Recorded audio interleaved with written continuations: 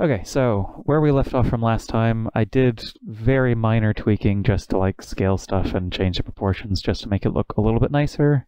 Um, nothing that I didn't show off in the last one, but just, you know, cutting out some of the boring bits of just selecting and scaling and selecting and scaling to make it look less, you know, twig-like on the sides. Um, this is basically where we left off. So we have the model, um, this is the high poly version of the model, so if I go into wireframe view, you can see very high density because we're using we're still using the subdivision modifier to give it a lot more extra detail. So our actual model underneath is very low polygon, easy to work with, and then we're smoothing it up so it looks. Ooh, come on, switch to solid view. There we go. So we go from that looks really terrible to that looks pretty good.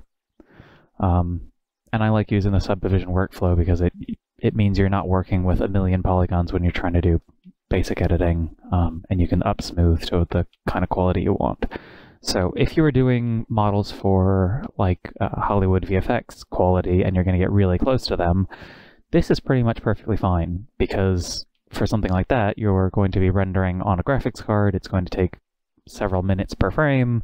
Um, you don't have to worry too much about the optimization of the model. So right now with four levels of subdivision, you can see down at the bottom of the screen, bottom right, it tells you the information for your scene.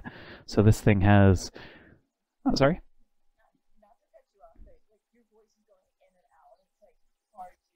Oh. Uh, is that a little better? Put it closer to my mouth. Testing.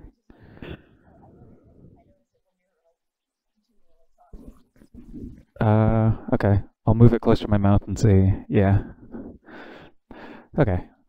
Um, basically I was saying, we have a very high polygon mesh here, which would be perfectly fine for like a Hollywood VFX shot because it doesn't really matter how many polygons you're using for something that's going to take several minutes to render per frame anyway.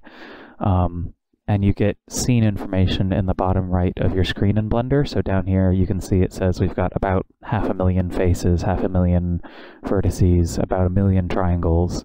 Um, and the triangles is what you really worry about because um, basically what any 3D software will do before sending it to your graphics card is turn it into triangles because triangles are really efficient for a uh, graphics card to render. So any squares, it will basically cut it in half like you know, cutting uh, a piece of toast in half and turning it into triangles.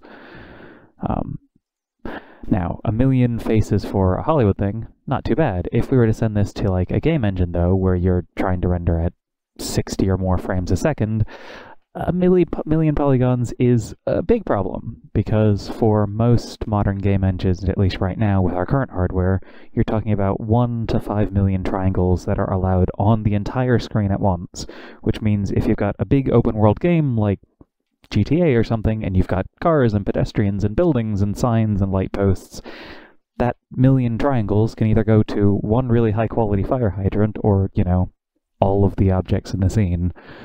Um, so the workflow for getting something that looks really nice for rendering really fast is you start with something high polygon, really sharp, really crisp, how you want it to look, and then we're going to turn it into something, and I kind of pre-prepared this earlier, very low polygon.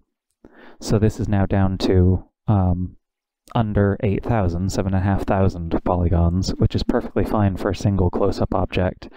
Um, and what we're going to do is take the details from our high one, nice, smooth, sharp, and then bake them down onto a low polygon one. Um, and to slightly explain this, so we kind of covered this last time a little bit. If I go to, uh, I'm pressing, you can either go to the object menu and you've got a bunch of options, shade flat, shade smooth, or if I hit W, uh, like Walrus, it pulls up a little special menu and I can switch between flat shading and smooth shading. So with flat shading, you can see all of the individual faces that actually make up the model and it looks like, I don't know, crystal, where it's been really cut flat, um, really jagged. Looks pretty awful. And then we have smooth shading, where it kind of rounds off the surfaces and tells the lighting to treat the surface differently than the underlying faces. And so that's kind of what we're doing when we bake down the details from a high polygon model down to a low polygon model, except we're not just going to smooth everything evenly, we're actually going to smooth it by taking the details from one and moving it to the other. And so to give a little bit of a, demonstration of the idea, let's create a new whiteboard. Just going to do like quick doodle drawings of the math and the idea behind what we're doing. So in 3D, you have vertices, which are the little points that connect between faces. You have edges that connect between those vertices on the faces. And then if you had, whoa, if you had four vertices and four edges connecting to each other, you'd have a square face. And obviously the GPU would cut that in half into two triangular faces. And so as far as lighting is concerned, kind of going back to basic high, high school physics kind of stuff, um, if you have a flat face, there is a, a, a property of a flat face called the normal. The normal is basically the direction, wow, if I could draw, that would be so much better. Basically, a normal is the direction perfectly 90 degrees perpendicular to the surface. So it tells you kind of which way the surface is facing. And so if you had a little happy sunshine, if you have a beam of light coming into a surface and reflecting off of it like a mirror, you've got the angles, and the angle that it comes in at, the angle of incidence, is exactly equal to the angle of reflection, so it bounces at perfectly even angles. Which means that if we have a sphere in 3D, which is going to be really low polygon, so let's model this like an octagon, an octagonal face for, for a um, sphere. If we're in like the flat shaded mode, you can see, eh, not smooth shaded, flat shaded, that looks really hideous and awful, and you can see the individual faces. But what we can do is fake the normals. Let's go back to the whiteboard. So you can imagine each face has a single normal pointing directly off of each face. And so the reflections would be very flat and very angular. But we, what we want to do is approximate these really jagged edges as being a nice, flowing, smooth, like circular face. And so what we're going to do is use a texture that fakes really smooth normals in between all of the faces and fakes that it's actually a round surface underneath instead of flat surfaces underneath. And more than that, because we have a nice high polygon where we have a bunch of polygons with a bunch of normals, and then we're going to make a low polygon we can actually take the details from one and like project them onto the other to make it look like the first one. So the process I did, you have the Holly polygon, you duplicate it. In Blender, it's Shift and then D as in dog to duplicate. And I'm going to right click so I don't actually move it anywhere. So these are actually two objects that are literally stacked right one on top of the other. So if I grabbed one, you could see it's there are two, but they're sitting right on top of each other. And what I'm going to do on the second one is turn off the modifier. And so on the second one, now all of the smoothing is turned off and all of our faces are really turned off. And it's really flat. But because we were modeling so low polygon, I'm actually going to undo that. I'm actually going to go to like one level of subdivision and then hit apply.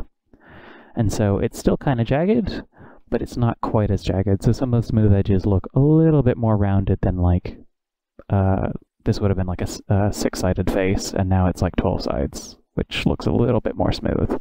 Still pretty well optimized for games, um, but a little bit smoother. And then the only thing I did between um, last class and this class is um, because I did that one level of smoothing, there are some like useless edges, like this edge here, the bolt is completely flat. There's no point to have an edge here, and the front of the bolt is supposed to be completely flat. So why do we have three edges here? And so I literally just went through and used uh, delete, delete is X for delete, and hit dissolve edges. And what dissolve does is if I were to actually delete the edges, the edges would go away, the faces would go away, and everything would be deleted. If I dissolve, it removes the edges but keeps the underlying surface in place. So literally all I did is go through and dissolve and start selecting and dissolving useless edges that don't actually contribute to the shape. They're just extra edges. Oops. And then turned it from our high polygon into this one where all the useless edges are, are destroyed and we're just left with kind of the useful edges.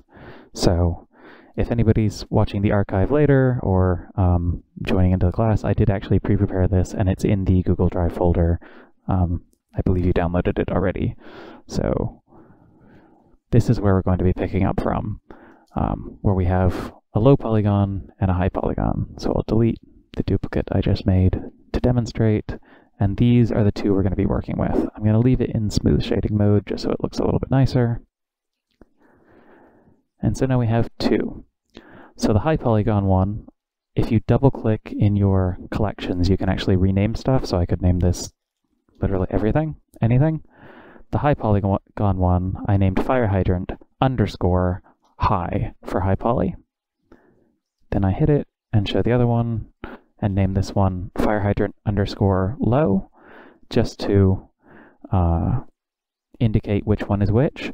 And this is going to be important for when we go to actually baking our model later, when we export the model from Blender to Marmoset Toolbag, it will automatically find objects that are named high, that share the same name with underscore high and low, and then separate them so it knows to bake the high details onto the low details. So it does all that stuff automatically for us, which is really nice and convenient.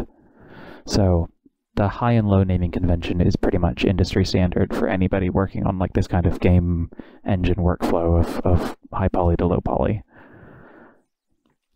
So now that we have a low polygon mesh, and literally all I did, as I said, is I disabled the uh, subdivision modifier and just deleted useless edges until I had something nice and clean. Um, I did go ahead and get rid of the indentations on the base here because we're actually going to demonstrate on here that you can actually bake in details um, such as these indentations onto a flat surface and it won't um, you won't really be able to tell by the end. Um, as far as like a good rule of thumb when you are um, baking down details from high poly to low poly, if the geometry on the surface doesn't actually contribute anything to the um, the silhouette of the object, like you can see, I kept the bolts on the surface because the bolts affect the silhouette of the object. If the bolts weren't here, like if I removed that, the silhouette would definitely change. Um, but when it comes to like the indentations on the surface, if I'm looking at it from the front, basically, even though there are indentations going into the surface, it still just looks like a cylinder as far as the silhouette is concerned. So it doesn't affect the silhouette. It doesn't need to be represented with actual physical geometry. So now that we have the, the 3D model, we've got a low polygon version. Um, the only thing we need to do before we can actually bake the details down is to actually bake things onto textures and texture surface, obviously this is a 3D model and textures are images, which are 2D. So a photograph is obviously two-dimensional, not three-dimensional. So how do you go from a two-dimensional thing and then put it on something that actually exists in 3D space. Well, basically you think of it like a bearskin rug or unwrapping um, or folding together like a cardboard box into a box. The way that it folds apart shows you how to take something 3D and unfold it into something 2D. And so the process is called UV unwrapping. Um, and the reason it's called UV is because we're already using X, Y, and Z coordinates for our 3D view. And so instead of calling it X and Y for the axes on the 2D image, we call them UNV because naming conventions. Um, but that's literally all that UV means. You don't have to, it's not some complicated technical term. It's just X and Y with a different name for images. Um, and so when we're unwrapping something, thinking of like a bearskin rug, you're basically thinking of how do I slit it and then unfold it in such a way that it will flatten out nicely to avoid pinching and stretching as much as I can. Obviously, it's impossible to completely avoid pinching and stretching because we're dealing with something that is three-dimensional and has curvature and then trying to flatten it out. So um, pinching is unavoidable, but we can mitigate it as much as possible. Um, so the first thing I'm going to do is we have all these pink lines here, which we used in the last class. These are showing us our mean creases when we were tightening up our high poly. We want to hide those so it doesn't distract us from seeing where we're cutting our seams. So in this menu, you can see there's a couple um, buttons at the bottom right of the Blender viewport. The ones at the far end are obviously our render view modes. Then there's like two boxes, and then like two overlapping spheres which if you highlight says show overlay. The little drop down arrow next to us gives us a bunch of things that we can turn on and off and hide in our view. So we can turn off like the, the 3D grid, we could turn off the cursor, we could turn on wireframes and all kinds of extra things. What we want to do here is just turn off the one that says creases. And if we click that, suddenly all of our purple lines appear or disappear. So the creases are still being applied, but they're not distracting us in our 3D view. And so we're just going to focus on chopping up our object. So the first thing I'm going to do is if you hold Alt, left, uh, yeah, left Alt, and select, like we showed last week, we can select a whole ring of vertices.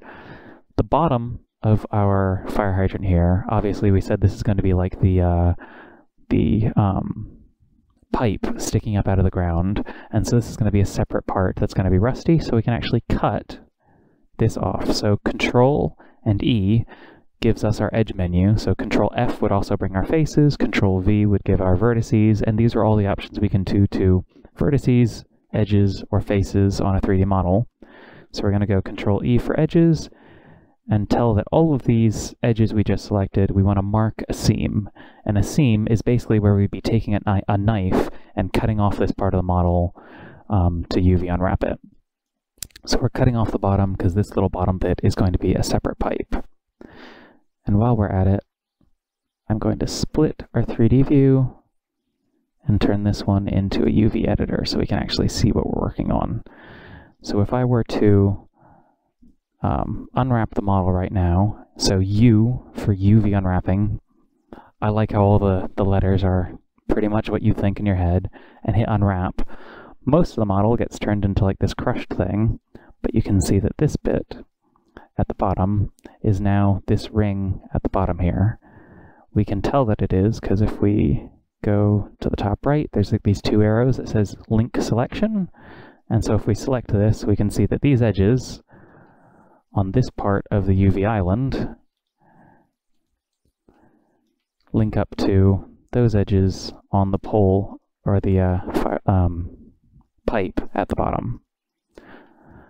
And if we cleared the seam, so we didn't use a knife there, and then unwrapped everything, you could see that it gets merged into this giant mess that is the entire fire hydrant, which is not so helpful. Um, because obviously, if the entire fire hydrant is turned into this one giant circular mess, the stuff at the top gets really, really, really crushed into a tiny, infinitesimally small point, which means that it's like really distorted, and the stuff at the bottom gets really, really stretched out. Um, and if we were to try to apply texture here, you'd obviously tell that you'd have a million pixels for the tiny ring at the bottom, and like 10 pixels for the very top of the fire hydrant, which is not useful. So this is where we're kind of deciding how to how to skin the bear. Um, so we're going to go ahead and split off the bottom again. And what I'm going to do is I'm going to select one edge at the back of the pipe and mark a seam for that. So basically, we're splitting off the pipe and we're cutting it down the middle because you can imagine we're going to unfold it like that. And if we've got a circle that we then split, it will unfold into like a flat strip of paper. So we can test this. Um, to select linked geometry, which is geometry that is connected to each other, let me select like one edge on the pipe and hit Control L for select linked, and tell it to limit by seams. So this will select everything that's linked within the same UV seam, so we can just select the pipe because we chopped it off from the rest of the uh, fire hydrant. And if we just unwrap the pipe, you can see it worked exactly like we intended. So we split off the pipe, and because we split it down the middle, we can unfold it into a nice flat strip, square, well, rectangular strip of like paper. And then if we were to texture this, it would be nice and flat and not distorted, which is perfect and exactly what we want. For the rest of the body of the fire hydrant, things become a little bit more interesting. Um, one of the kind of artistic technique things with UV unwrapping is because you are going to be, you know, chopping up the model, obviously there are going to be places where two bits of the, the uh, texture meet. So obviously, in this case, at the bottom here, the texture at the top is going to be bumping up against the texture at the bottom, so you might see the knife cut here if these two didn't match up perfectly on the texture. There are ways to like Photoshop it and make sure that both sides um, match each other and kind of hide the seam, but there's always going to be a knife cut that you're going to have to either patch up in Photoshop or you know understand that there's going to be a noticeable discontinuity of the texture across that cut. Um, and so one of the, the artistic things about UV unwrapping is figuring out where to put your seams so they are the least obtrusive and least noticeable as possible. So on something like a fire hydrant here, I might cut it along the backside for a racing game because from the road you'd always see the front of the fire hydrant. You'd never really see the back of the fire hydrant, so nobody would notice if there's a discontinuity seam along the backside. You'd never see that the texture is split there because you, are just never going to see it. Um, so in this case, I will select from the just under the hat, and then using Control click. Control is select shortest path, um, as we talked about last week, so it will select everything between the two points and make paths. So I'll select from the top down to the bottom uh, in a straight line and split the back of the fire hydrant just straight down the middle because that's where I feel would be the most hidden for most situations. You wouldn't be staring at the back of the fire hydrant. That's where I want to hide my seam. And while I'm at it, I'll go ahead and cut the top of the fire hydrant off because then we can separate off the top of the fire hydrant as its own little bit. And because it's underneath the top of like I call the top of the fire hydrant a hat. It looks like a hat. I don't know why. If it's underneath the hat, you know, if you're a human being standing at, at normal heights, unless you're like crouching down and trying to tuck your head underneath it, you'd never see underneath the hat, so that seam will be perfectly hidden under there. So, if we were then to select the middle of the fire hydrant that we just did, and unwrap that, we can see it looks pretty good. Um, it's actually unwrapped fairly well. Um, but you can see that the pipes, the little um, outlets that are sticking out, are turned into these little concentric rings. And again, we're going to get um, pinching as these concentric rings get really, really small and all of this detail gets flattened. Because you can imagine, um, as an example, if I select all the faces on the front of this pipe and start to, to grab them and push them in, basically we'd be flattening them like this, like an accordion. And so all those details are going to get crushed and flattened.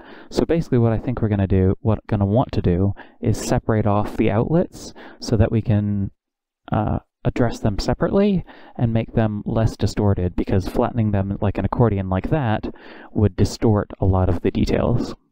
You'd get a lot of stretching. So we'll go ahead, I'll hide my seams kind of inside the first notches on each of these. So I'll hide a seam in there to cut off the side outlet here. I'll do the same thing on the other side, cut off this side of the outlet, and then hide the seam in here to cut off the front outlet and separate these out. And so now, let's unwrap again, see how things changed. We still have our main fire hydrant, which looks pretty good so far. And now each of these is a separate outlet. So these ones should be like the little bells on the side. So let's see, this one should be the one, yep, this is the little bell on the left side, this is a little bell on the right side, and then this should probably be the one on the front, and I assume this is the hat on the top. And now you can see we're starting to split these up. Each of these like sections in a UV grid is called an island, and so the island here is our pipe at the bottom. The island here is our main uh, body of the fire hydrant in the middle, and then each of these islands are the little outlets.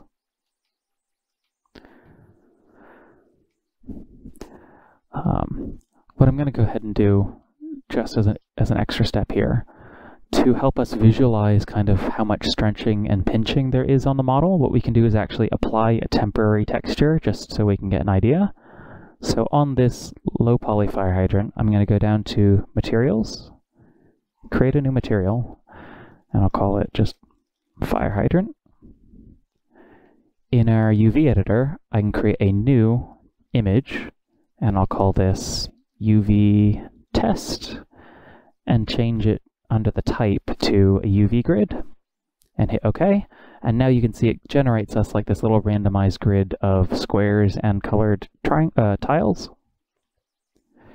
And if we tell our base color to use an image texture and pick our UV test grid, then it will apply that to our model. Obviously, we can't see anything in the viewport right now because we're using kind of a flat generic clay shader just to in our viewport. So under our render properties, our viewport shading properties, I can tell it, instead of using a random material, let's go ahead and use the texture. And I'll change it back to white so it's not tinting it. And now we can kind of see how our unwrapping is going. So as far as stretching and pinching goes, obviously there's a, because the uh, the outlet is rounded at the front. There's a little bit of, of bulging here um, that's distorting the grid. Um, we can work on that momentarily.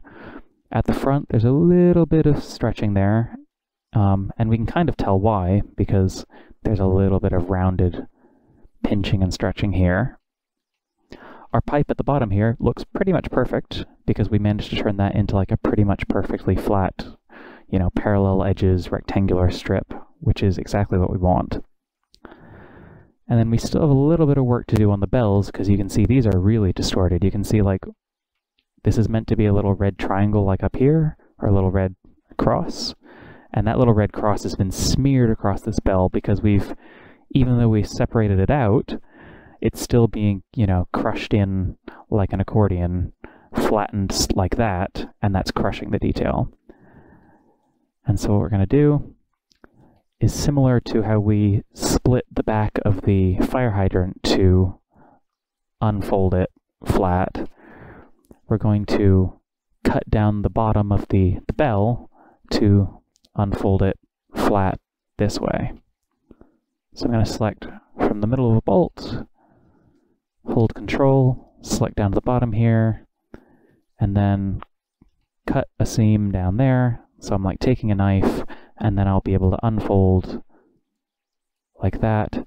Kind of difficult to like visualize in your head sometimes how this is going to unfold, but if we unwrap it, you'll see, whoa, if we unwrap it, you'll see it's taken the circular bell We've split it, and now it's kind of flattened it out a little bit more. It's still somewhat curved, and there's not much you can do avo to avoid curvature in such a, you know, dynamically curved surface. But you can see that as far as stretching and distortion goes, that's significantly improved the issues we were having, and I think that's going to be good enough. So we'll copy that same process. We'll go ahead, select an edge, cut down the middle, and unwrap that one. And so now this one is unwrapped in the exact same way. We've minimized the amount of distortions that we have, which is perfect. And then same thing to the one on the front. Let's cut it down the bottom, mark a seam, select it, and unwrap it. And so now all of these look fairly good with minimal distortions. We could do a lot more to, to play around with adding extra cuts and, and minimizing the distortion, um, but just for the sake of simplicity, we're just going to leave it at this is good enough on terms of distortion.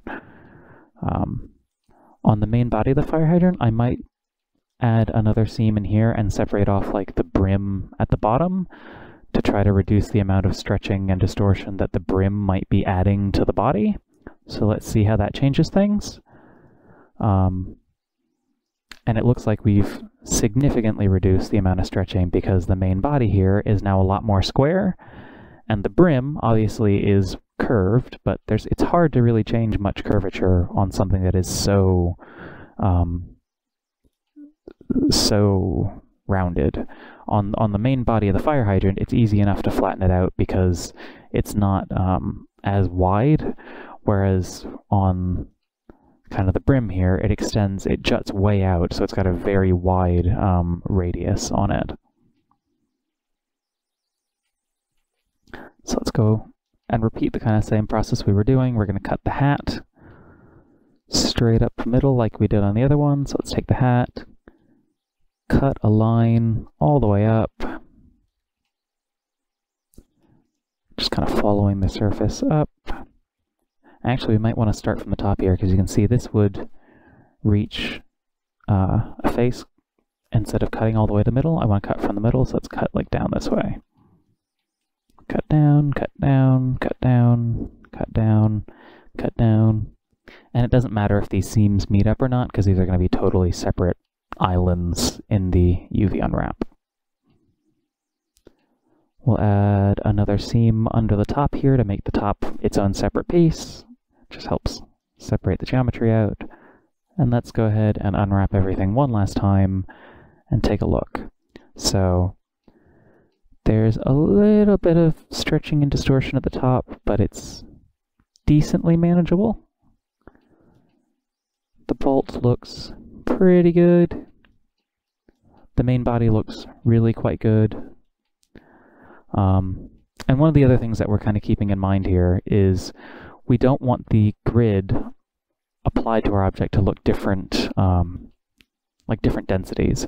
So as far as like the, if I were to select just the top and scale it way up, you could see that the grid here is a lot uh, more dense than the grid here.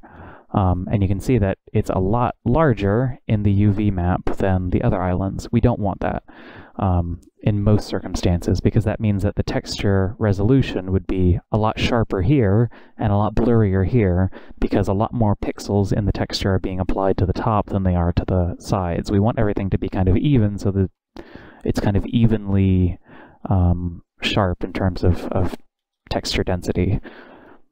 So we'll go ahead, select everything, and if we unwrap everything together, it keeps everything um, proportional to one another. So there's no issues of one section of the geometry being a higher resolution than another section. Um, in some cases, you might want that. So if you're doing like a um, a 3D character model, you might want to purposefully make the face higher resolution than like the hands because you're more likely to look a character face to face than you are to look at their hands. So you might want to add as much of your texture resolution to or focus more of your texture resolution on that part of their body instead of another part that you're not going to be looking at. Um, there are tricks to like getting the most out of a single texture to make sure that, you know, every pixel counts because every pixel, every texture is going to be adding more and more memory that has to be stored on the graphics card and in the RAM. Um, but we're not going to worry about that right now because that's really high level thinking for high level um, tasks. We're just focusing on the basics at the moment. So this is our model now completely unwrapped, good enough for what we need. So everything is fairly even. We've minimized the distortion a decent amount. Um, there is a little bit of wasted space, so if we look at our UV grid, you can see that up at the top here, there's basically pixels that are never going to be used. Um, and so there's some work that we could do to maybe reduce the amount of wasted space. So if I like rotated this and moved it up here, maybe I could like shift things around and scale them up and get more space out of here. So if I go to UV and pack, it might try to pack these. In fact, doing what I just did, it actually packed them smaller, so I'm actually wasting more space. So let me undo that. Um, there is kind of an art to packing things as densely as possible and making sure that you're not wasting any pixels, um, you know, using as much as you can out of every single um, texture that you can. But for this case, because we're doing a single model, a single object, we're not really worried about optimization too much. We're going to call this good enough. So this is everything we need to do for the UV unwrapping. This is good enough. So I'm going to hit save, save my file. And now what we want to do, now that we have everything unwrapped, we have our objects, our high and low poly, we are now ready to export it, bake down our details, and then head on over to actually texturing it. So I'm going to go to File, Export, and I'm going to export an FBX file.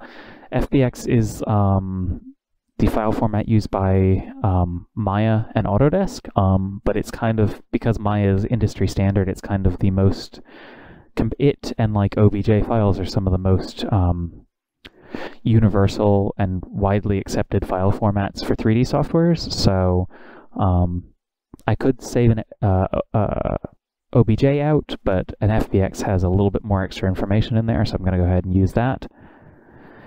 And so I made folders earlier for baking and texturing.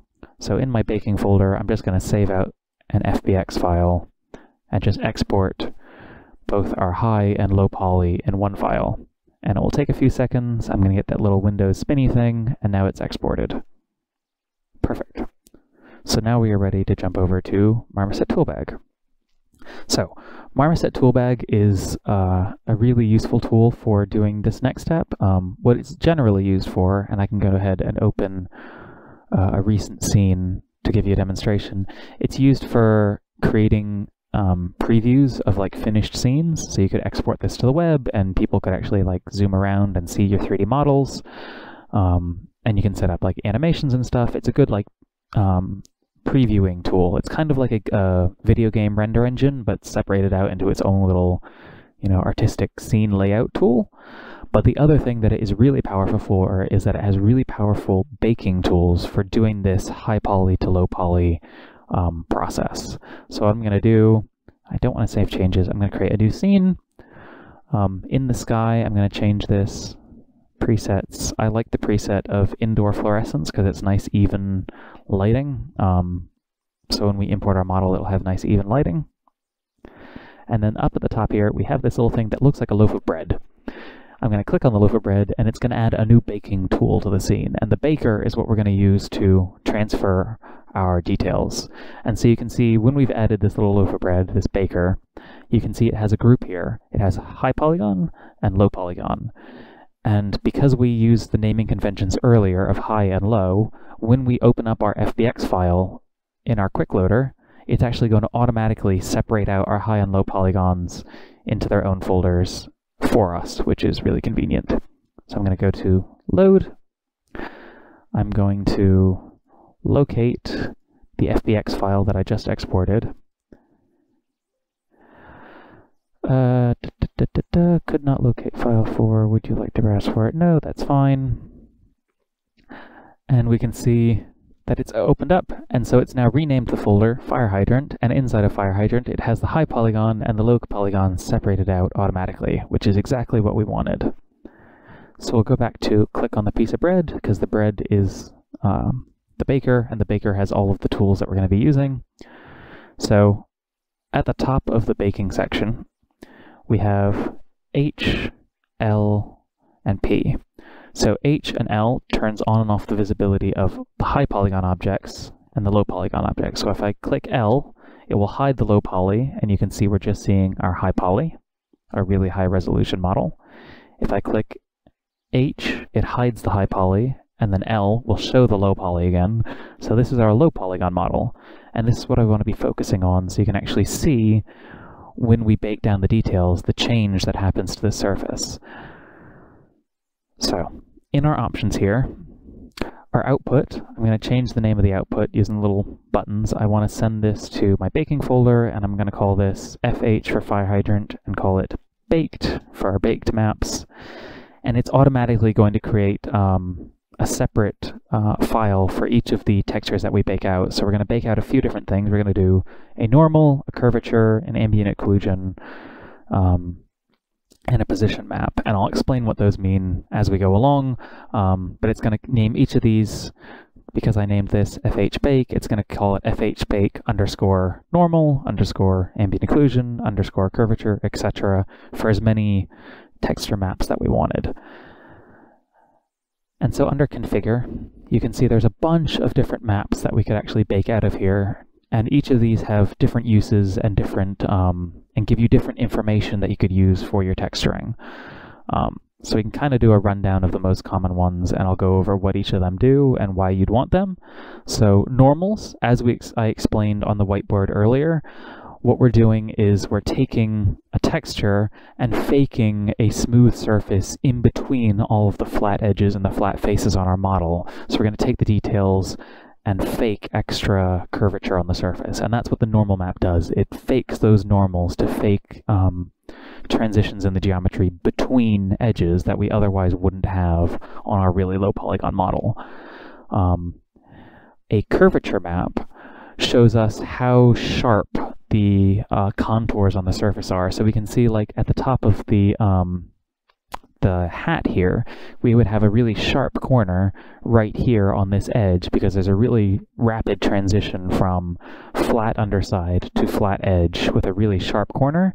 And so this would highlight our sharp edges. And the reason that a curvature map is really useful is because if we know where our sharp edges on the model are, we can then do really interesting things like focus um, scratches and scuffs and, and nicks on the surface on our hard edges. Because if you think of where are the most likely bits of, of anything in the real world to get scratched and scuffed, it's going to be on the sharp pokey out bits that are most likely to rub up against and bang onto things. Um, so if you pick up any object that you use on a daily basis, like your phone or a knife or anything like that, you'll notice that the really worn edges are the really raised, sharp corners on things. Um, thickness is one that you also use, especially for um, creatures. Um, basically, it, it tells how um, how thick the surface is. So a really thin surface would be like um, your ears are a really thin part of your body, whereas like your cheeks, obviously you've got the entire width of your skull underneath you. It's a really thick, meaty bit of your body. And so using a thickness map, it will show where the thin parts are, where the thick parts are, and then you can do interesting things like um, subsurface scattering, which is the effect of like if you shine a flashlight through your fingers and everything glows red, the thin parts glow red because um, it the light's going through your skin. But if you were to try to do that to like your stomach, obviously you wouldn't see glowing on the backside of your rib cage because the light has so much further to transfer through that it just gets absorbed by your body. So the thickness map is really useful for showing you know where the thin bits are and where light would actually pass through skin or um, like wax on a candle or something along those lines. So we want normals, we want curvature because we want to take our details from the high resolution, we want to get our sharp edges where all of the scuffs and nicks are going to happen. And then the last one we're going to do is called ambient occlusion. And what ambient occlusion is, is it's all of the really hidden crevices and corners where shadows and light kind of finds it really difficult to reach. And what it's really useful for is not only showing us, um, not only giving us like extra faked shadows in really tight corners, which is useful um, to reduce the amount of work that the GPU has to do, you know, faking lighting, but it also, um, little crevices and cavities are the places where dirt and grime tends to build up. So if you think of um, rocks or bricks on the front of your uh, house or something along those lines, um, you know, dirt builds up on it, rain will wash down it, and the rain will tend to pool and puddle in little cracks and crevices and carry the dirt and debris into those recessed corners and trap it there. And so having a map that shows us where um, our cracks and crevices are, that where things get trapped, we can then like focus dirt and grunge and, and debris into those places where like we'd naturally expect it to end up. So those are the three that we want to turn on right now. We want to have normals, we want to have curvature, and we want to have ambient occlusion to get our sharp edges where nicks and scuffs are going to happen, the recessed crevices where all of our dirt and debris is going to end up, and then to bake down the normals, get the high resolution details from our high polygon. So with those three set up, we are ready to bake. And so it's literally as simple as hitting this bake uh, button up in the top left, click bake. It will take a little while depending on how powerful your computer is because it's it's like shooting, it's projecting the details from one to the other. And immediately it looks like nothing happened. And that's because, as I mentioned, HLP, it's turning off on and off high, low, and this turns on and off whether or not we see a preview of what we did. So let's turn on the preview, and boom, you can see that we just got a bunch of details from our high polygon, but we're still on our low polygon geometry. You can still, if you get really close, you can see this like stair-stepping effect of our low polygon geometry. But if we zoom out, as far as like our lighting is concerned, we suddenly get all of the extra details that we didn't have before. So we get the little indentations from our high polygon that are literally not there. If I click on this, you can see like the green flash of the uh, the wireframe. Those those indents literally do not exist as physical geometry, but they transfer down from the other model. Um, if I turn on and off the preview, you can see that why am I not turning on and off the preview? Preview. Why you not do what I tell you to do? Why you confuse me?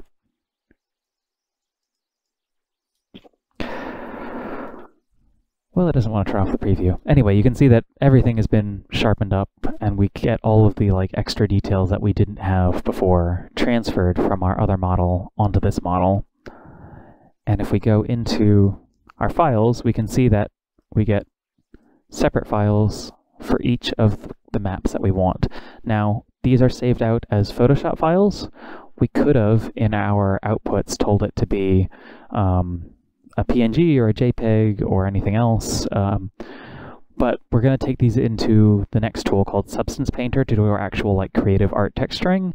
And Substance Painter will actually use Photoshop files and if you were to be editing the Photoshop file, like you opened it up in Photoshop, made some tweaks, and then saved it out again, you could then refresh it in Substance Painter and update that dynamically, which is why I prefer to save out PSDs compared to like um, saving out uh, just a JPEG where you wouldn't be able to do that. Um, whereas if it's a Photoshop file, it's a Photoshop document, and you can edit that and save it, and it updates like like a Photoshop document.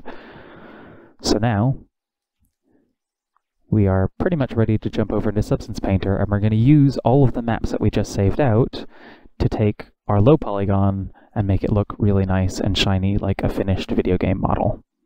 So I can close Marmoset because we're done there. And the last thing I want to do is the FBX that we saved out included both models, but we only want to be working on our low polygon in Substance Painter. So I'm literally going to hide our high polygon, select our low polygon, and I'm going to save out one more FBX file. Make sure that selected objects is enabled, so it's only going to save out our low polygon that we have selected. And I'm going to name this something like fire hydrant underscore low, so I know that this is the low polygon on its own. Give it a few seconds, make sure that I've saved out that file. I have. And so now we can go ahead and open up Substance Painter and do like the actual creative art side of this project. Now, the reason I'm using uh, da, da, da, TDR, yeah, it might pop up this thing. You can hit continue anyway. That little warning is just saying that if you were to do something really heavy in Substance Painter, um, your GPU might hang for a few seconds and might um, the driver might time out to event like a, a blue screen of death. Um, and so it's suggesting a technique you can where you can go into like the Windows registry and change how long it takes before the, the GPU times out. Um, but yeah, that's kind of advanced Windows user stuff. Recommending that people change their registry is um, not something for the uninitiated in terms of like knowing how to use Windows. So we're not going to bother with that because it's going to be fine. We're not going to do anything too heavy today. Um, so, where was I in my train of thought? Because I've completely lost myself. uh, yeah, so we saved out the model. We're going to go into Substance Painter. Oh yes, what I was mentioning. The reason that we're using Marmoset Toolbag and we're using Substance Painter to do our texturing and baking, there are free alternatives. So you can do normal map baking um, or texture map baking in Blender. You can do um, some texture painting in Blender, and there are some free tools out there that will let you do texture painting, or you could use Photoshop to do it, you know, by hand, or you could um, like Quixel uh, was picked up by Epic Games very recently, and so Quixel Mixer is now a tool that you can use for, for doing texturing on 3D models, um, and it's free because Epic Games made all of their stuff free, which is awesome. But um, Mixer is was initially designed as a way to tweak and edit photo scanned um, textures, not to actually work on 3D models. And so the tools there are kind of clunky and unintuitive and not recommended. Um, baking textures out of Blender is a little bit clunky, not perfect, a little bit, um, there's like, there's no anti-aliasing on the baking or anything like that, so it's not perfect. You can't bake out as many different maps as you can with Marmoset. Unfortunately, as of April 2020, there still aren't that many really good free alternatives to Substance or Marmoset paint, uh, tool bag, which are currently the industry standard tools for both Hollywood VFX industry and for the video game industry um, for doing texturing on 3D models. Um, before we jump into texturing on 3D models um, and what makes like Substance and all the modern stuff really nice and useful, I'm going to step it back a bit and explain what PBR rendering and PBR texturing is, and so what we're going to be doing in our texturing software. So if I jump over to the documents we had for this class, I threw a couple bits of reading material in the Google Drive, which I will also link in the archive on YouTube. Um, you don't have to look at these right now. So the texturing process we're going to be doing right now is using a workflow called PBR texturing. PBR literally stands for physically based rendering, which means that it's a rendering technique that's based on like how light actually physically interacts with things in the real world.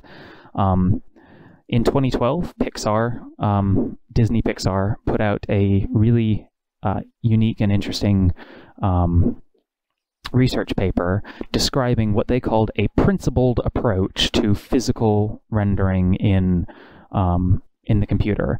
And their idea was to take all of the physical properties of light in reality and turn them into a set of artistic principles that are really easy for artists to create surfaces that mimic reality without being like super scientific and heady and hard to actually follow for somebody who isn't, you know, a um, a photon physicist or anything along those lines who doesn't know the, the math and the physics behind it. You can just work on the artistic side of things and get realistic results on the other side. Um, and so the other two PDFs that I've included here are from um, Substance Painter, or Substance, um, the company that designs Substance called Allegorithmic. They have a um, a section of their website, their support website, where they actually have um, learning materials for learning how to work with Substance and the PBR process in general.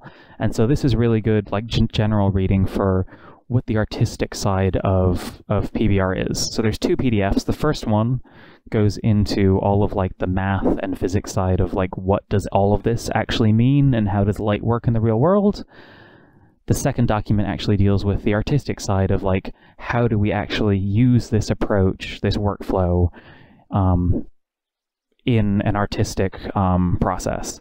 And so there are four properties that we have to um, worry about for the most common PBR workflow, which is the metal roughness workflow. You have your base color, which is all of the surface colors that are underneath the surface. We have a roughness property, and roughness basically is how smooth or how um, rough the surface is. So you can think of like a mirror is perfectly smooth and will give you perfect sharp reflections. Whereas if you took um, some low grit sandpaper to that mirror and roughed up the surface, it'd be a really, um, it wouldn't be a perfectly smooth mirror anymore, and the reflections would be really blurry. And so the roughness allows us to change how shiny or how not shiny a material is. Um, metalness is basically what it sounds like. Metals reflect light slightly different from non-metals. Um, So having a slider that lets us pick, is this a metal, is this plastic, lets you change the reflections like that. And then the last texture we have is our normal map, which we can use to, um, like, like we did in the last step, we baked down details from a high polygon object to a low polygon object. What we can also do is manually paint details into the normal map and then like artistically add extra things like we could add bolts or scratches or scuffs that we didn't physically sculpt or physically model, but then just paint them on and add extra detail to our surface. And so those are like the four um, main properties that we worry about in a PBR metal roughness workflow. Um, so when we go back into Substance Painter, you can see that at the bottom we have our tool shelf and we have these actual individual things, um, these tools, these substances. And so a substance in Substance Painter, unlike in, say, Photoshop where you're just painting with colors, in Substance Painter you're actually painting with materials that have all of those physical properties combined into that material. So you have your sh how shiny the surface is, you have all of the little micro scuffs and details, you have um, what color it is, all of those wrapped up into one easy to use thing. So you can literally just drag and drop, I want this to look like blue plastic, and just apply blue plastic to all of your model. And it simplifies from an artistic standpoint, applying textures to an object and having all of like the physical properties combined into one simple, easy to work with workflow. So we're going to create a new project. We're going to select in our files, we're going to find where our low poly FBX is. So let's go ahead, mine are under Familab classes. This is class number three, and we saved out our low poly as its own separate object. I'm going to set the initial document resolution to 2K, and under our normal map format, Blender uses OpenGL. A lot of other softwares like um, uh, like Unreal Engine might use DirectX, but because we're going to be sending this back to Blender, we're going to use OpenGL, and we're just going to hit OK. And now you can see it's imported our model. Up in our texture sets, we've created a fire hydrant texture set, and the reason it's called fire hydrant is because we gave it a material in Blender called fire hydrant. Um, if we had multiple materials applied to this model, or we had multiple models with different materials, there would be more texture sets open in Substance Painter, and we could paint on each of those separately. But in this case, we just have the one, and it simplifies everything for us. So on the left, we have our 3D model. On the right, we have our 2D UV unwrapped texture set. If I hold Alt and middle click, we can move around in both the 3D view and the 2D view. Alt and uh, left click lets me orbit around, rotate the view, and right click lets me zoom in and out. So I can move, I can rotate, I can zoom in and out, which is really nice and useful. So the first thing we want to do is we want to take all of the texture sets that we baked in Marmoset, bring them into, into Substance Painter and apply them so we get all of the details that we just saved from the last step and bring them into Substance.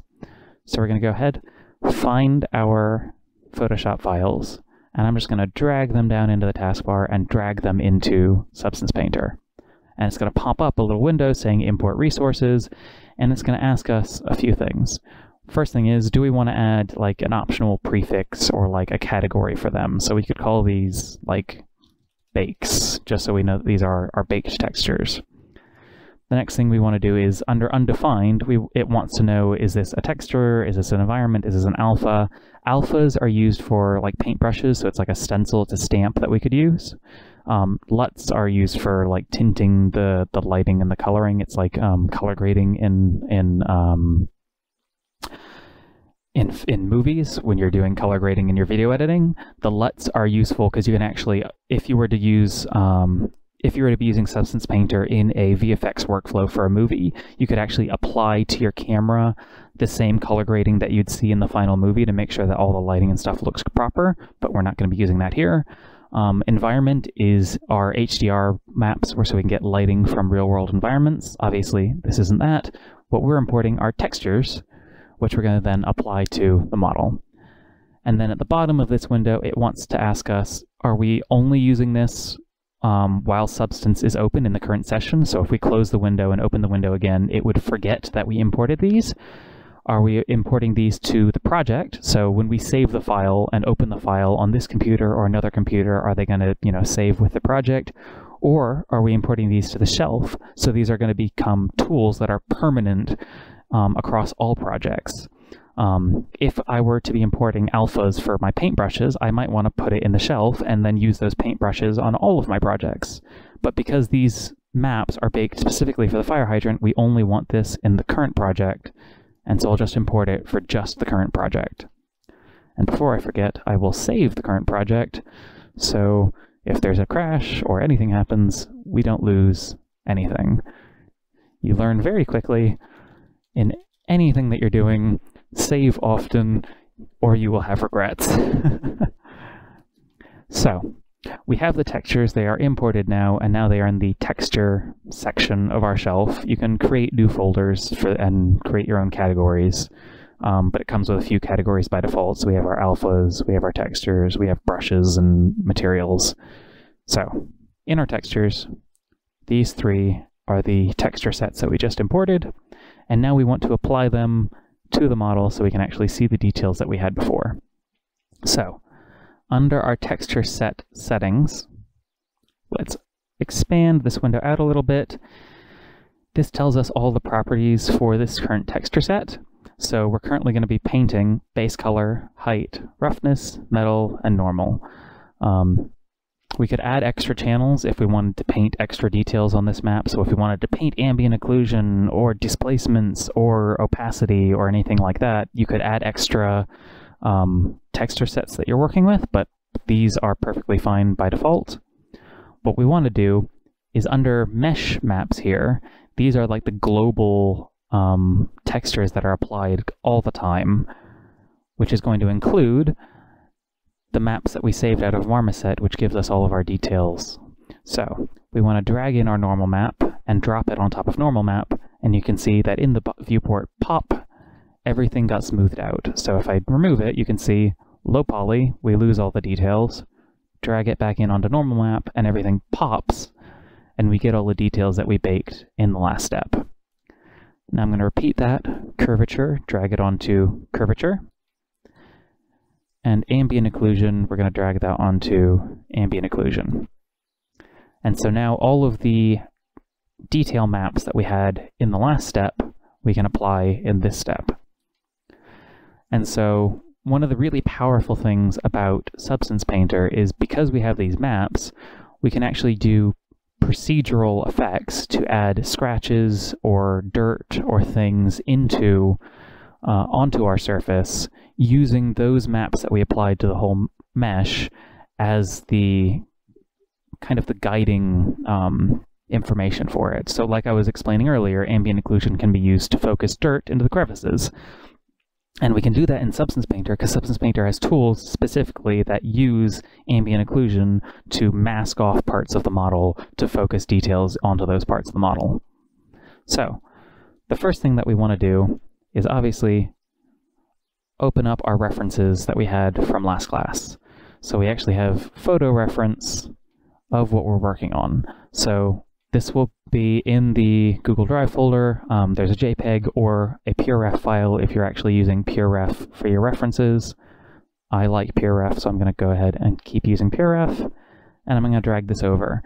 So the first thing we want to do is apply the paint to our fire hydrant. And we're going to use kind of the yellow paint here and the red paint here to give us an idea of how paint on a fire hydrant tends to look, which is really, really gloopy.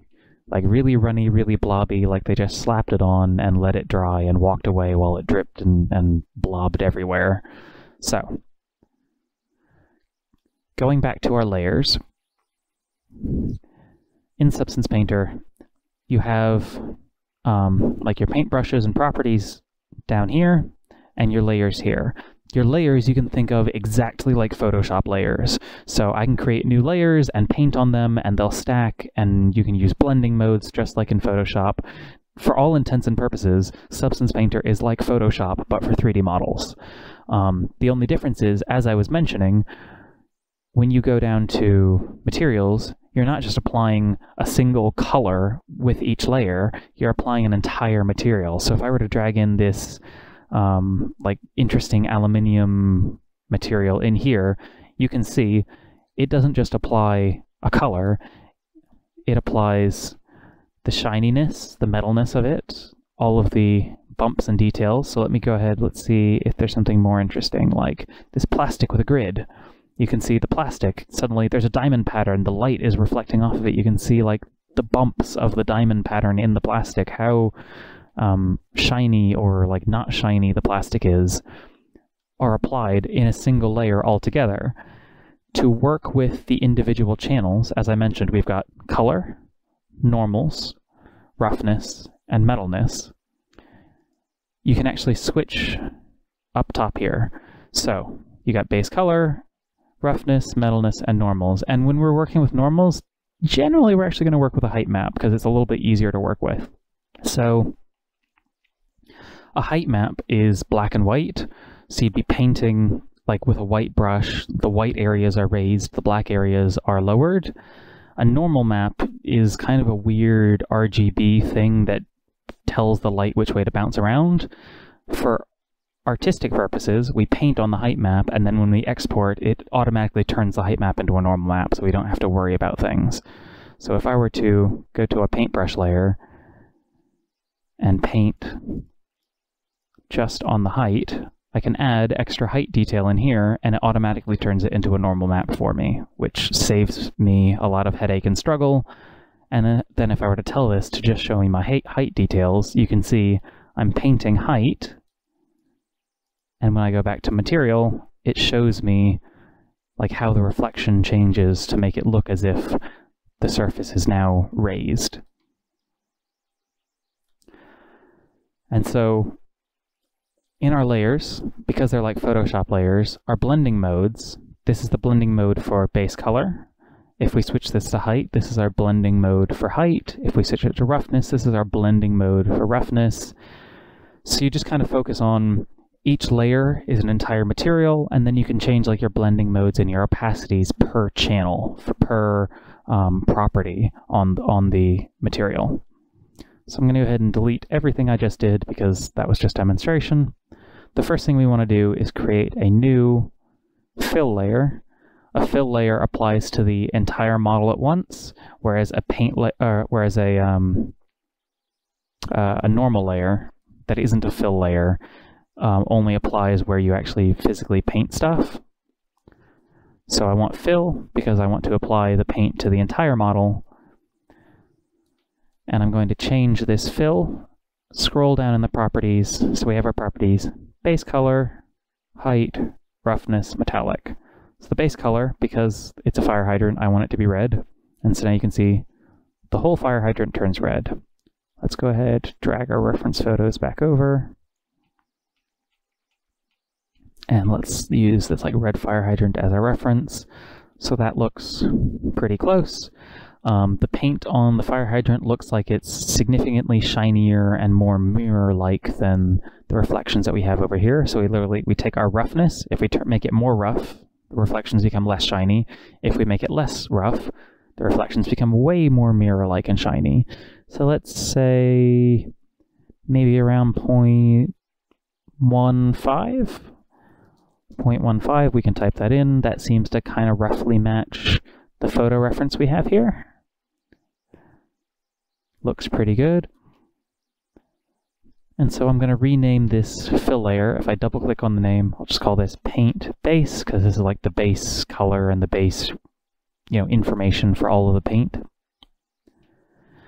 And now the next thing we want to do is start adding some of the bubbles and wrinkles and warps that the paint has done where it's like dripped and blobbed and globbed everywhere. So I'm going to create a new fill layer and I'm going to name this one height. As far as like how I personally like to work, I like to like separate out my properties into separate layers. So I will go ahead and work on all of my height information for this material on its own separate layer. So in my properties, I'll turn off color, roughness, metalness, normals. This one will literally only be height information. And so in our height here, this will be where we're going to be applying all of the bubbles and stuff. To add our bubbles and stuff, what I'm going to do is I'm going to right click and add a fill modifier to this layer. And so what you can do is you could actually, um, there are modifiers you can apply to layers, just like in Photoshop you have, um, you could add Gaussian blurs or sharpens or things along those lines to layers to change how they look. In Substance Painter, you have the same sort of things. You can paint on them, you can add levels, so you could like, um, just like in, in Photoshop where you can do curves, you can adjust the contrast of a layer, you can add filters like blurs, like Gaussian blur and stuff like that. Um, I'm going to add another fill because I'm going to layer a bunch of different um, height details on top of this like one layer. So in this fill, again, I just want to work with height. I'm going to go to our procedurals, which are a bunch of like randomized computer generated noises. And the first thing I'm going to add is a cloud. Where's clouds? Clouds 3. If I drag this onto the height, you can see that now we have a bunch of really ugly noise added to the surface. The height is being affected by the cloud's texture. And now we have some properties we can change about the cloud's texture. So I can do stuff like I can turn the contrast up and down, the balance up and down. So I'll leave the balance where it was, which is like 0.5 in the middle. I could change the contrast if I wanted to. I could go up and change the scale if I wanted to. And so for this, the first step I want to do is add like the really wide um, bumps and bubbles, the subtle wide bumps and bubbles. So the first thing I can tell is obviously the opacity on this is way too high because the effect is way too strong. So let me turn this down. I'll turn the opacity down to like 15. That's 51. I can type me. I can spell. And then we'll just tweak the scale here until it looks about right. So around, let's see, maybe 1.2 looks about right for like the really, oh, maybe that's even too detailed, maybe 0.8. Just play with this until the scale looks about right.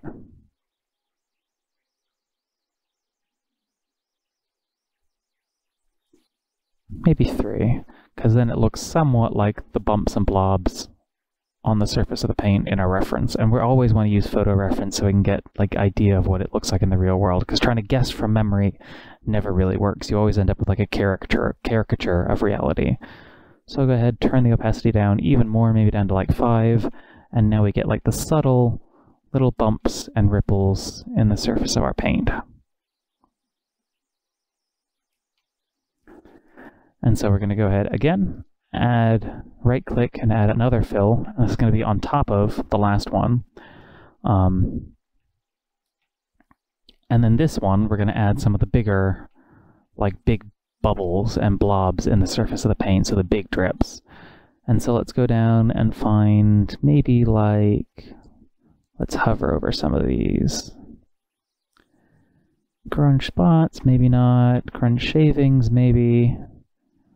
Yeah, let's try shavings. Let's go ahead. Again, I'm turning off everything but height. I just want this to be height information I'm adding. Drag this in, and let's see how this looks. Um, way too strong, but that's looking pretty good and pretty close to what I wanted. So again, I can go ahead and turn the opacity on this down. Let's say maybe like 10. 10 might even be too strong. Um, and it looks like these are a little bit too large still, like compared to our photo reference. So again, I can go to the scale, tweak the scale, maybe make these like a scale of three, and turn the opacity down some more. So it's like, yeah, opacity of three looks about right. And so now we get all these little blobs and stuff where it looks like the paint's either dripped or maybe like while the paint was drying some sand blew in and got underneath the paint. They didn't clean the, the fire hydrant before painting it, that kind of thing. Which looks pretty good, pretty cool. And we're going to repeat this one more time and we're going to add some like scratches. So on some of the paint you can see like these straight lines in the paint. Um, some places it's kind of hard to tell. Um, so like here, we get like these straight lines where it's I don't know, maybe a piece of grass like whipped past and then dented into the paint or something along those lines, or maybe it was like a brush stroke. Um, so we're going to add some like straight lines to this. So one more time, right click, fill. I'm going to turn off everything except height for this fill. And let's grab one of these like scratches and add the scratches, and then we get a bunch of like straight lines in the paint. Mess around with the scale. Maybe a scale of like four. And then in the scratches, we got a bunch of options for like quantity, so I can turn down the number of little lines down. Maybe 0.2 looks about right.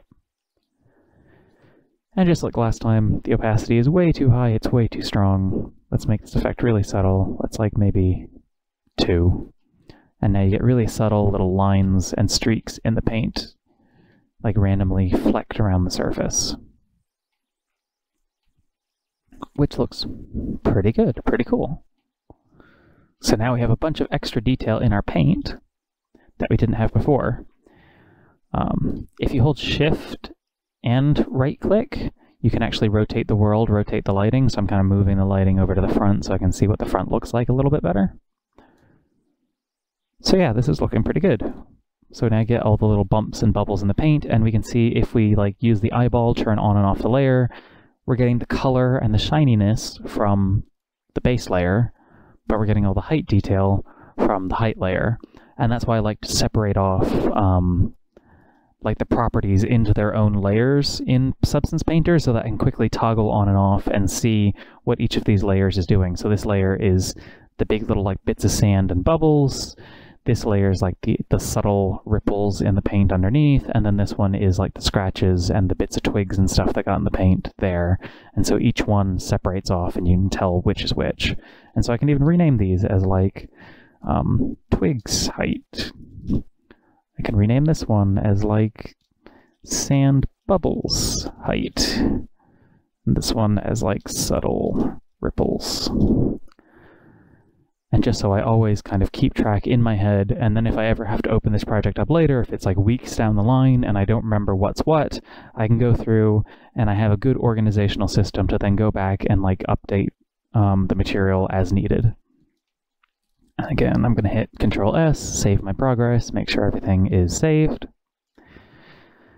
And so the next thing I'm going to do is I'm actually going to add um, some of the stains to the surface. So if we go and zoom in here, you can kind of see that there are like little bits of like white stains on the surface, like water droplets, like mildew and mold has, has grown and started to build up in some of the places where like rain has landed and, and dried and, and left behind all of these like patterns of mold and mildew. So let's go ahead and add a layer for that. So I'm going to add a new fill layer.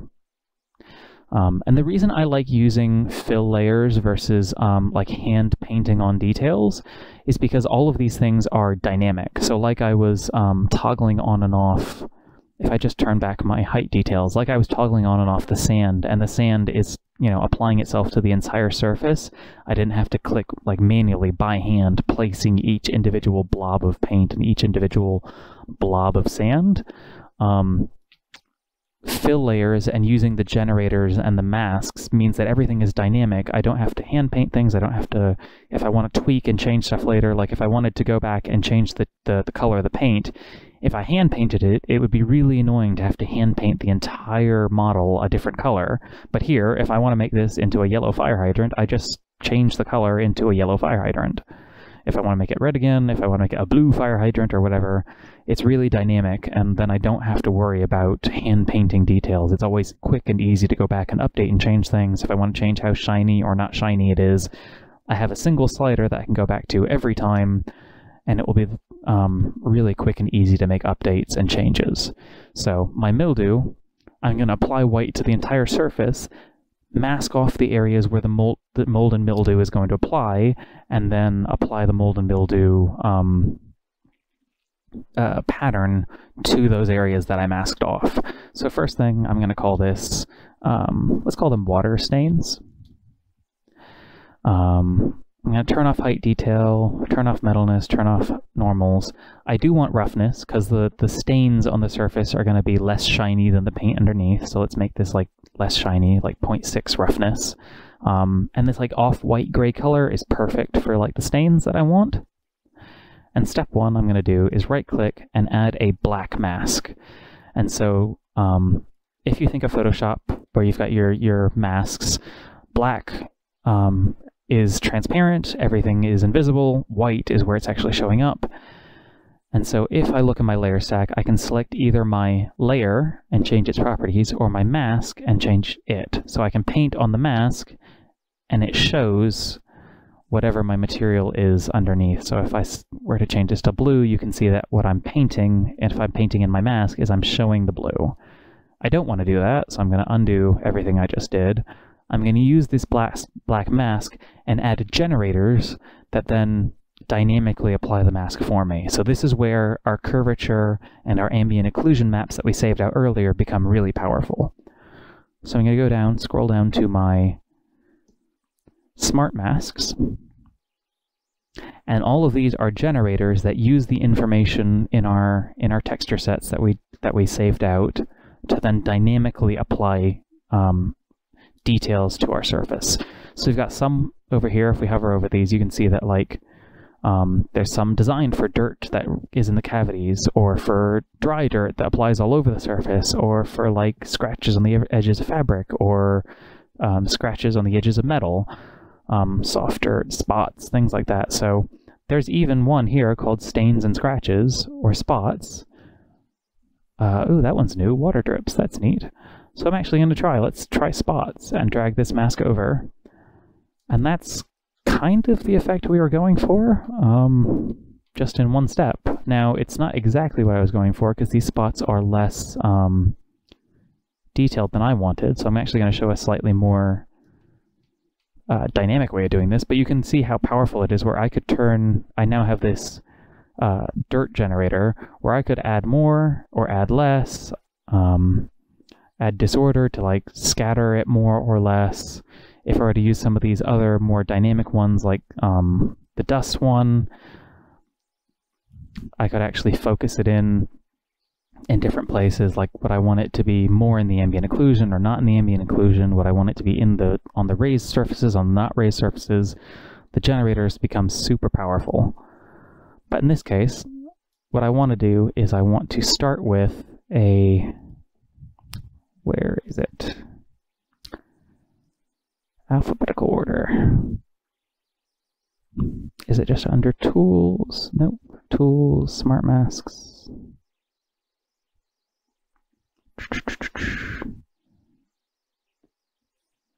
Let's start off with one like, ah, that's the one I wanted, dust occlusion.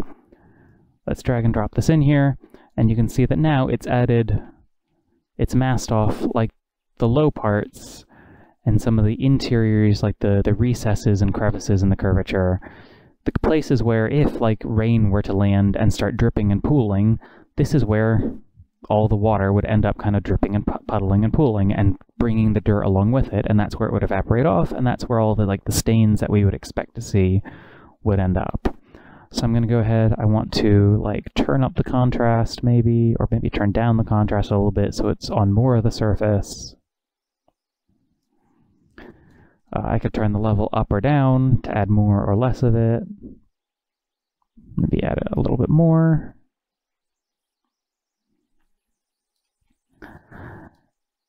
And then the last thing I'm going to do to make this look more like the little rounded blobs of water staining that we see on the actual um, reference photo is I'm going to right click, add another fill layer, and just like our blending modes in Photoshop, I want to do the multiply blending mode because this will kind of remove in black areas. I'm going to go back to our procedurals, and there's a stain procedural in here, or a grunge drip in here somewhere, which looks exactly like the kind of stains that we want to apply to this surface. So let me go ahead and find alphabetical order, things are difficult, or is it under grunges? Maybe it's under grunges. There we go, grunge spots. Spots, dusty, shavings, stains. Stains, that looks exactly like what we're looking for. hollow. So let's try the spots and drag this over. And now we have spots. And we could like change the scale of these spots, change them up and down. But because we are multiplying them over the, uh, so we added the generator and we're multiplying these over the top, you can see that the spots are not everywhere. The spots, if we turn the dirt level down, we can actually shrink and grow where the spots are appearing. The spots are actually sort of applying, um, are like cutting into the dirt that we added below it, so they're only showing up in the places that we masked off previously. And then if we wanted to go back and change in, like, I don't like these spots, maybe I want to use this uh, stain texture instead, I can use the stain texture instead, and then I'm adding stains to just those places that I masked off. And so I could scale this up a bunch, And then I've got water stains. And I could turn up the dirt level, maybe turn up the contrast. And then I've just got these dirt stains only in the places that I expected them to show up, only in the crevices, only in the low places where water would puddle and pool. Now these are a little bit big, so I'm actually going to go back. Let's change these out for some different stains. Um, those spots kind of look neat. Those look like little like rag swirls. Just kind of find something that looks uh, more along the lines of what we were hoping for. Scratches, dirty, fine, rough, shavings. Yeah, let's try the spots again. Let's try the spots again. Tweak their scale. And then maybe under here we could tweak the balance, see how changing the balance and contrast on them works. And so there's a lot of artistic freedom you could have with this. Maybe spots dirty, swapping them out, trying different things. Basically, we're just looking for ones that look more like these like little ring bubble shapes, which we may just end up using the stains, the hollow stains. Yeah, let's just use the hollow stains. And scale that up so it repeats a lot more. And then we have little water stains on the surface of our paint where we expect them. Turn down the contrast, turn up the contrast, and if we want to see, like hide the stains and just see where we're applying them, turn the contrast up, turn that down. You can even go down and there should be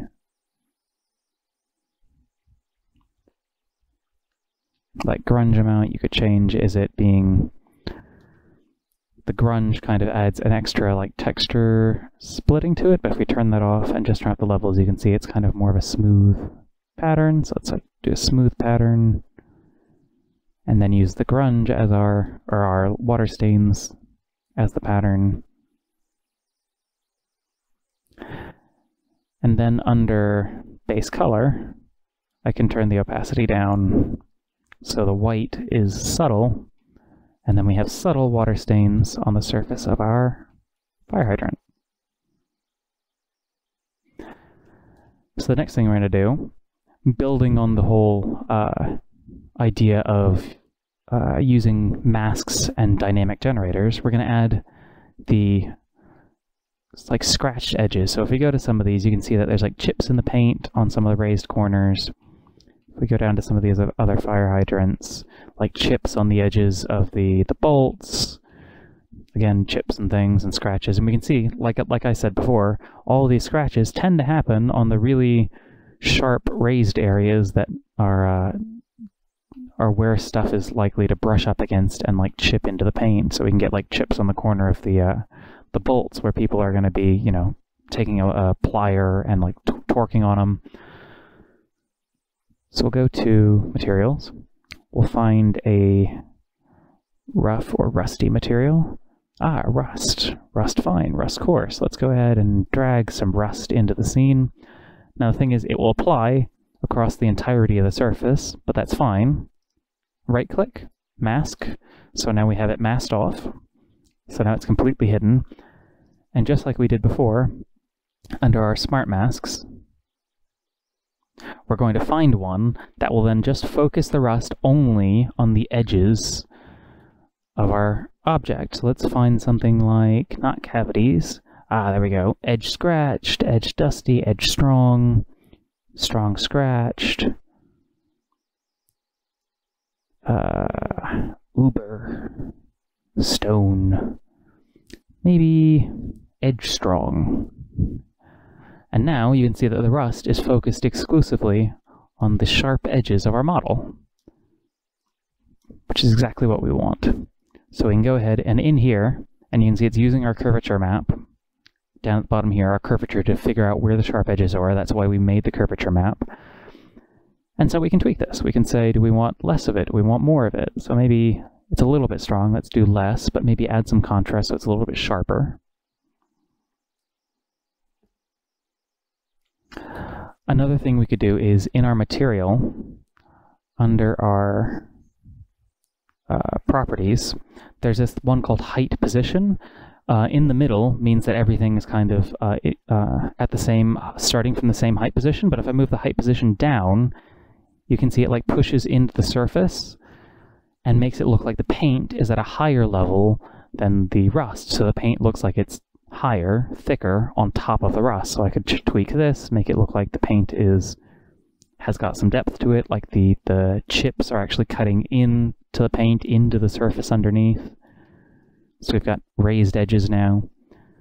Now these edges are a little bit too smooth and sharp, so we can do just like we did with the water stains where we used the mask and then added a grunge to like chip into it. We can add a fill layer and then add some chips to what we just did.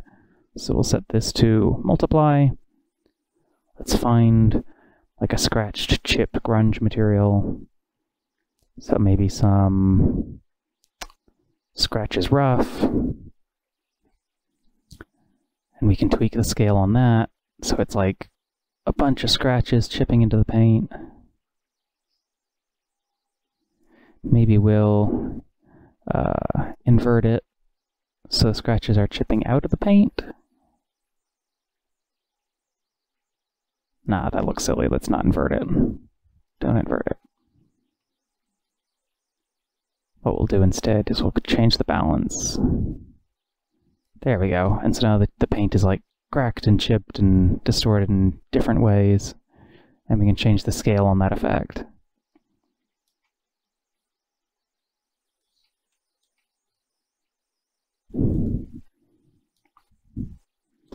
And part of like the, the whole process of making something look realistic is like levels of detail, breaking out the surface, because nothing in reality is like perfect and smooth. So like with the paint, we didn't just add one even level of the random ripples, we added little bubbles and things that are randomly placed around the surface. With the scratches, we're breaking up the scratches so they're not perfect. They're they're randomized and chipped, um, which just helps with the whole feeling of realism. Um, and the one thing we haven't changed so far in terms of the feeling of realism is the roughness. The reflectivity is still perfectly the same across the model. We can go over here to our lighting modes. We can see color, height, roughness. Besides the rust, the rust is obviously a different material, but the paint is still like perfectly the same everywhere except for where we have those little water stains. So let's go ahead and break up some of the shininess, break up the roughness. So let's go ahead, add a new fill layer. Let's maybe add it under the rust so it's just on our paint. Um, and we can even put all the paint stuff in its own folder, call this paint. So we just know, just to keep it organized like Photoshop, all this stuff is our paint layer, the stuff above it is the rust, rusty metal that we're cracking into the surface. So we'll call this one um, roughness stains switch this to my roughness mode, make sure that this fill layer is only affecting our roughness and nothing else, and we can add a grunge to that. So let's add like um, grunge dirty and apply that to the surface and set its roughness to be like, uh, uh, not subtract, screen. And then if we go back to our roughness view, we can still see, if we go to the base paint layer and change the underlying roughness, it, the underlying roughness is still globally controlled by our base layer, but now we have this stain that's applying on top of it, And if we go back to our lighting mode, you can see that it really changes the reflections. So let's go back, let's see, let's change the contrast, make the stains a little less prevalent. Go back to our lighting mode, and now you can see that where we had really even shininess everywhere before, we can even disable the the height detail so we can just focus on the reflections. Where we had e really even reflections before, really perfect reflections. The stains break up those reflections and add a bunch of extra detail into the shininess of our surface and how the light reacts to the surface. And then we add back in those like paint blobs and it's just layering details, layering the reflections, layering the height, and all these things kind of combine to make it look a lot more realistic.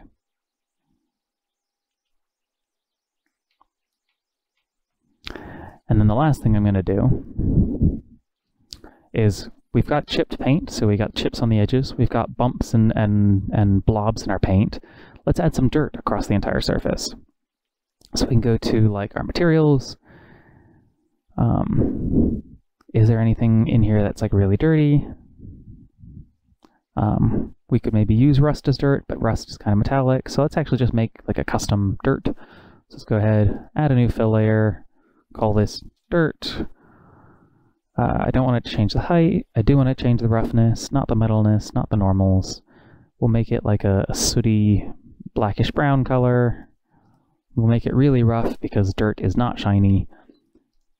Add a black mask and find one of our nice soft dirt, like dirty dirt, dirt cavities. Let's try dirt cavities. Uh, make sure to add a fill so we can actually, or not add a fill, just drag it onto our mask. There we go.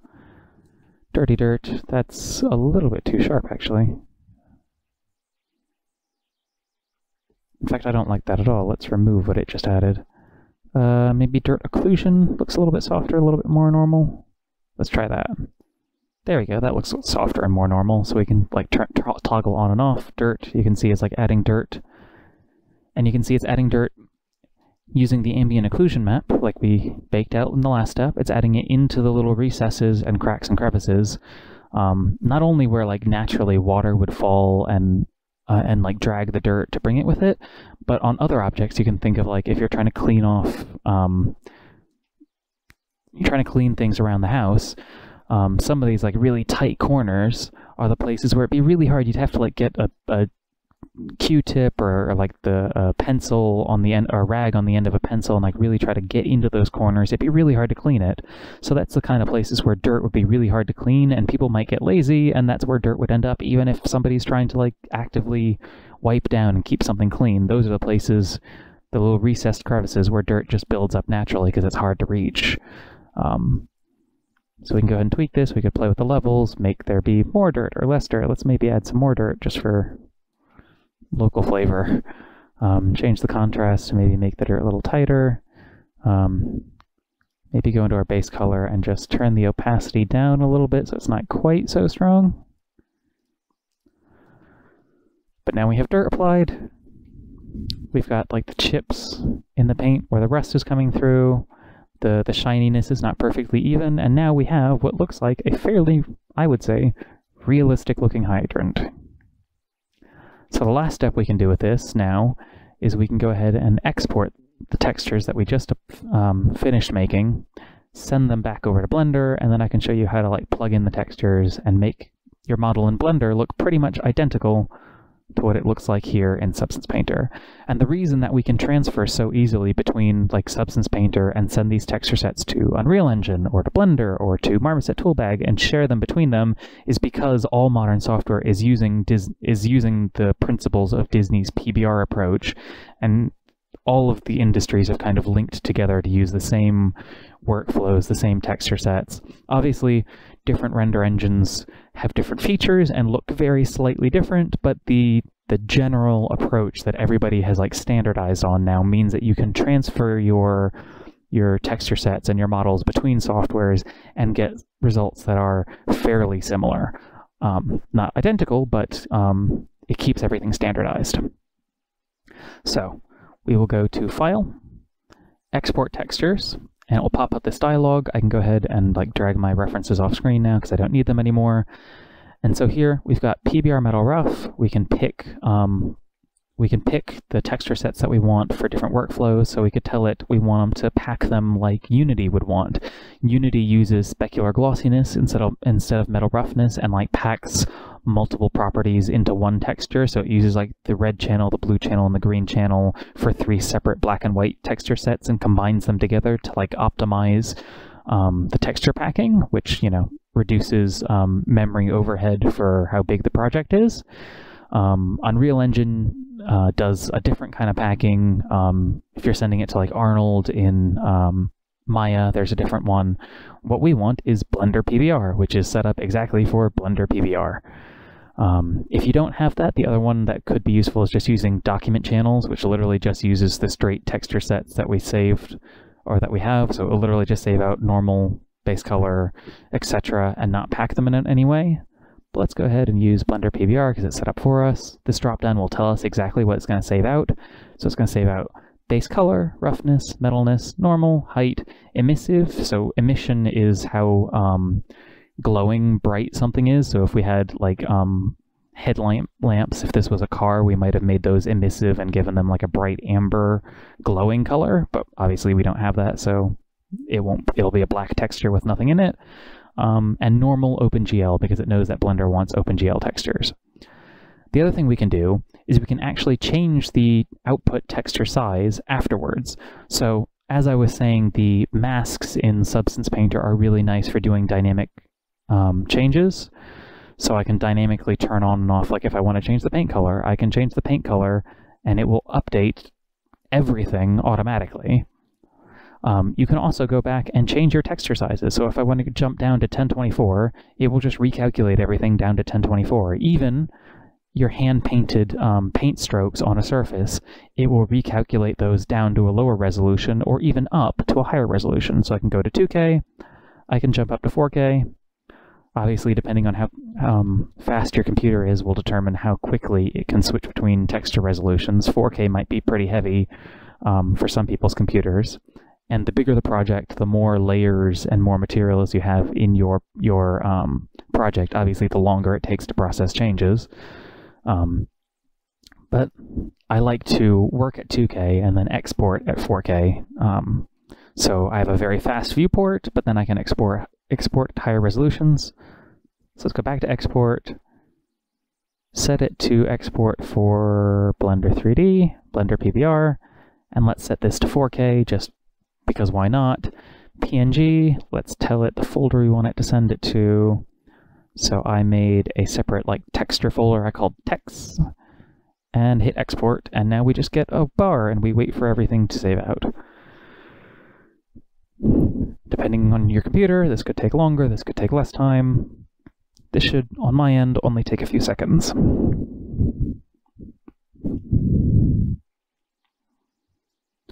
Do do do do do do do do do.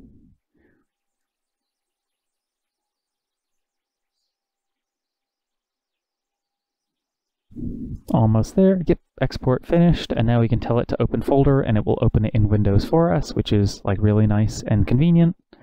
Um, at which point we are done with Substance. We can actually close it. You know, save before we close. And these are our texture sets. Perfect. And so these we're going to be bringing into Blender to then apply to our material uh, to our model.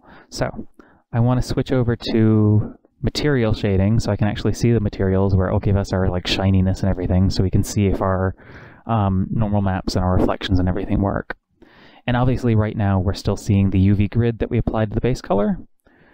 What we're going to do, I'm going to switch the UV editor out to our shader editor and so this is just a visual representation of our materials over here. So the, over here, we've just got everything laid out as like a bunch of sliders, and if I wanted to add a, a texture, I'd have to use these little drop downs, which are kind of annoying.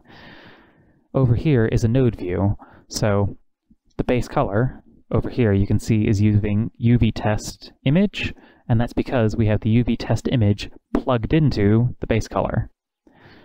So pretty straightforward. So the easiest way to do this, I'm going to delete the UV test grid. You'll see that it removes it from the view. And in our folders, let's grab base color. I'm going to do these one at a time. Base color, I'm going to drag it down to Blender and drop it in. And base color is now in here, and I can click and drag from color to base color, and it will apply.